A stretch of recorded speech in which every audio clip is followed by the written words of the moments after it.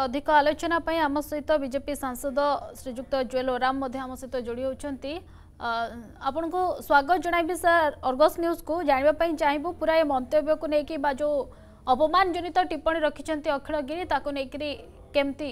प्रतिक्रिया रखिए घोर निंदार विषय मु कठोर शब्द निंदा करुची मंत्री ए प्रकार शब्द व्यवहार କରିଛନ୍ତି ତାଙ୍କୁ ମନ୍ତ୍ରିମଣ୍ଡଳରୁ ବିଦା ଏବଂ ତାଙ୍କୁ ଏମ୍ଏଲ୍ଏ ଏମ୍ପି ପଦରୁ ଯାହା କିଛି ପଦପଦବୀରେ ଅଛନ୍ତି ତାକୁ ବିଦା କରିବା ଦରକାର ଅନ୍ୟଥା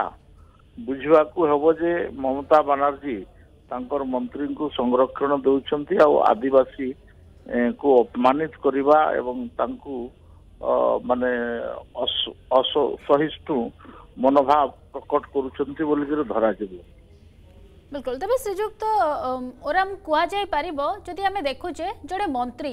ଯିଏ ଜନନାୟକ ବା ଲୋକମାନଙ୍କର ପ୍ରତିନିଧି ସେମାନଙ୍କ ଭିତରେ ଯେଉଁଭଳି ଶାଳୀନତା ଆସିବା କଥା ସେମାନଙ୍କୁ ଲୋକମାନେ ଅନୁକରଣ କରନ୍ତି କିନ୍ତୁ ସେମାନେ ଯଦି ଏଭଳି ମନ୍ତବ୍ୟ ଦେବେ ସାଧାରଣ ଲୋକଙ୍କ ଭିତରେ କ'ଣ ପ୍ରତିକ୍ରିୟା ସୃଷ୍ଟି ହେବ କାରଣ ଜଣେ ମହିଳାଙ୍କୁ ଏଭଳି ମନ୍ତବ୍ୟ ଦେବା ସେ ପୁଣି ଦେଶର ପ୍ରଥମ ନାଗରିକ ଯିଏ ପୁରା ସର୍ବୋଚ୍ଚ ପଦକୁ ଅଳଙ୍କୃତ କରୁଛନ୍ତି ତାଙ୍କ ଉପରେ ଏଭଳି ଟିପ୍ପଣୀ କେଉଁଠି ସେ ପଢ଼ିଥିଲେ ଯେ ସୁନ୍ଦରତା ଥିଲେ ହିଁ ମଣିଷ ଗୋଟେ সর্বোচ্চ স্থানরে বসি পারিব আর যদি সুন্দরতা তা ভিতরে না তাহলে সে কোণী দক্ষ হয়ে পারিব না বলে দেখন্তু ইয়ে মন্ত্রী যে টিপ্পণী দিয়েছেন অত্যন্ত নিন্দনীয় এটা কাহারি পাই ভি এটা শোভা দিয়া যায় দিয়ে নাই কোনসি ব্যক্তির সৌন্দর্য উপরে টিপ্পণী করিবা এটা অত্যন্ত নিন্দনীয় বিষয় ଆଉ ମୁଁ ତ ଏ ଯୋଉ ମନ୍ତ୍ରୀଙ୍କର ଏ ଟିପ୍ପଣୀକୁ ନିନ୍ଦା କରୁଛି ଘୋର ନିନ୍ଦା କରୁଛି ଏବଂ ଡିମାଣ୍ଡ କରୁଛି ଯେ ସେ ମନ୍ତ୍ରୀଙ୍କୁ ମନ୍ତ୍ରିମଣ୍ଡଳରୁ ତୁରନ୍ତ ବିଦା କରାଯାଉ ଆଉ ମମତା ବାନାର୍ଜୀ ସର୍ବସାଧାରଣରେ କ୍ଷମା ମାଗନ୍ତୁ ଅନ୍ୟଥା